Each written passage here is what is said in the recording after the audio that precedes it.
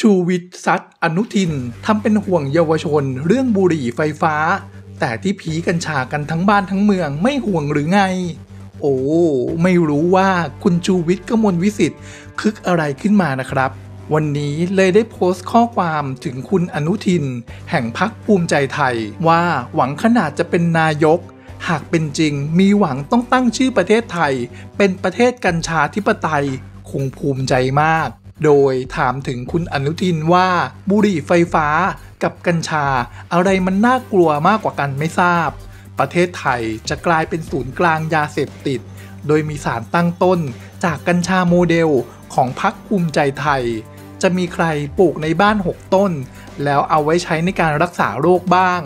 เพราะการปลูกกัญชาเพื่อการแพทย์มีวิธีการปลูกที่แตกต่างกันมาก ส่วนใหญ่ก็ปลูกไว้พีเอง หรือเอาไปขายให้เด็กทำไมไม่ใช้สมองซีกว่าคิด โดยนายชูวิทย์ยังฟาดต่ออีกว่า การที่นายอนุทินพักภูมิใจไทยกระทำการได้ถึงขนาดนี้ เพราะนายกประยุทธ์เกรงใจ ไม่กล้าแตะถึงกำเริบเสิบสารต้องพึ่งให้สนับสนุนการอยู่ต่อในตำแหน่งนายกรัฐมนตรีเท่านั้นเอง และเดี๋ยวนี้การซื้อกัญชาง่ายเสียกว่าซื้อบุหรี่ ทุกที่มีขายกันหมดทุกหัวถนน ถามจริงๆว่า คนซื้อจะมีถึงสัก 10%ไหมที่ใช้รักษาทางการแพทย์ เพราะอีก 90%ใช้ผีกันทั้งนั้น หากรักษาโรคทางการแพทย์จริงทำไมไม่ไปขายในโรงพยาบาล และให้หมอออกใบสั่งยามาให้เลยล่ะครับแต่นี่กลับตั้งรถขายกัญชาทุกหัวมุมถนนตั้งร้านขายกันทั่วบ้านทั่วเมือง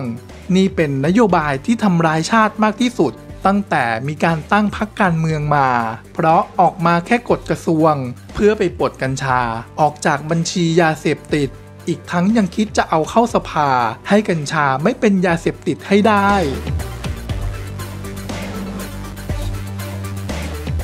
โดยนายชูวิทย์ได้บอกไว้เลยว่า ขอรณรงค์ทางการเมืองในการเลือกตั้งครั้งหน้านี้ ล็อกเป้าไว้เลยว่าพักภูมิใจไทยต้องไม่ให้กลับมาเป็นรัฐบาลอีก คงคิดว่านโยบายกัญชาจะทำให้เพิ่มคะแนนทำจริงทำได้ทำจนเด็กเยาวชนติดกัญชา แล้วยังมาทำพูดดีว่าห่วงเด็กเยาวชนให้เหม็นขี้ฟัน บอกว่ามีกฎไม่ให้ซื้อ แต่การเข้าถึงง่ายกว่าซื้อบุหรี่ไฟฟ้าเสียอีก พร้อมบอกว่าให้รออาทิตย์หน้าถึงคิวกระทรวงสาธารณสุข ได้เจอกันแน่ไอ้หนู โถทำเป็นธรรมะธรรมโม รู้จักเอ่ยคำพระสัพเพสัปตา แต่ไม่ทราบว่าลูกใครดูดกัญชาทั้งวันจนสมองเพี้ยนหมดและคุณชูวิทย์ได้ทิ้งทายไว้ว่า สัตว์โลกย่อมเป็นไปตามกรรมจริง ๆ สาธุ ล่าสุดหลังจากที่ประเด็นกัญชาเสรีกับบุหรี่ไฟฟ้าอะไรร้ายแรงกว่ากัน ที่คุณชูวิทย์ได้ออกมาพูด เผยแพร่ออกไปนะครับ ก็มีคนไปคอมเมนต์มากมาย ทั้งเห็นด้วยและไม่เห็นด้วย โดยคนที่เห็นด้วยก็บอกว่า ก็รู้กันอยู่ว่าใครเป็นใคร สามารถทำให้กัญชาที่จัดเป็นประเภทของยาเสพติดทำผิดให้เป็นถูกได้ ก็ยุคนี้แหละ ที่ผู้หลักผู้ใหญ่ไฟเขียวไปได้อย่างไร รู้ทั้งรู้ว่ากัญชาคือยาเสพติด สงสารคนรุ่นหลังที่ต้องโตมากับค่านิยมแค่พักพวก จนไม่มองถึงความถูกต้องเป็นที่ตั้ง แต่คนที่ไม่เห็นด้วยก็มองว่าการใช้กัญชาเพื่อการสังสรรค์เอาจริง ๆ เนี่ย โทษมันน้อยกว่าการดื่มเหล้าหรือยาเสพติดอื่น ๆ เสียอีก ส่วนเรื่องบุหรี่ไฟฟ้า ขอไม่ออกความเห็นละกัน แต่ถ้าจะบอกว่าบุหรี่ไฟฟ้ามีความผิด ก็ไม่ควรมาไล่จับคนที่มีไว้สูบ มันเหมือนสามารถทำให้เกิดการรีดไถได้ เหมือนกรณีดาราสาวไต้หวันคนนั้น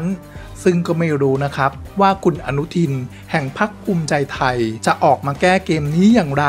เพราะดูแล้วคุณชูวิทย์กัดไม่ปล่อยอย่างแน่นอน ส่วนผู้ชมทางบ้านคิดเห็นอย่างไรกับเรื่องนี้ ก็สามารถคอมเมนต์พูดคุยกันได้นะครับ